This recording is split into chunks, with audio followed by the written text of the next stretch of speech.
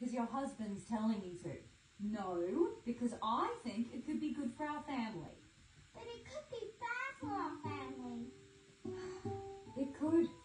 I wish I could tell you which one it was going to be, but I don't know. I just want to give him the best life I can. I know.